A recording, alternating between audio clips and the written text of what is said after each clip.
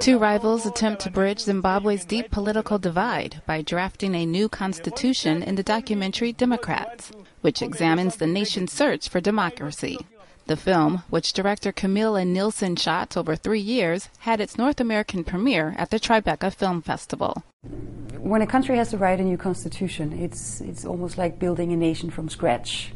And that's a huge task. And these two men who were appointed to, to lead the process had a Sisyphean job ahead of them. And that always makes for, for a good film. Paul Mangwana, who was loyal to President Robert Mugabe's ZANU PF party, and Douglas Mwonzora of the opposing Movement for Democratic Change, share a passion for a constitution to take the nation towards democracy after 35 years of rule under one of Africa's most divisive figures.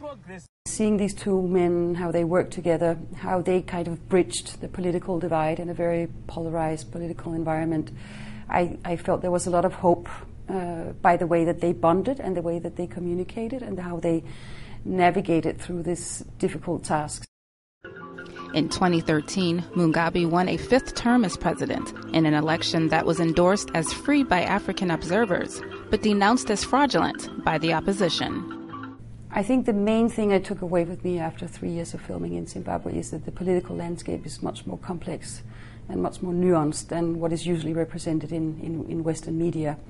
One of the things that we don't realize in the West is that Mugabe still has a lot of support. He's still a hero to a very large group of people on the African continent. Um, and so I hope that this film can contribute to representing a more nuanced picture of Zimbabwe. Um, I hope so.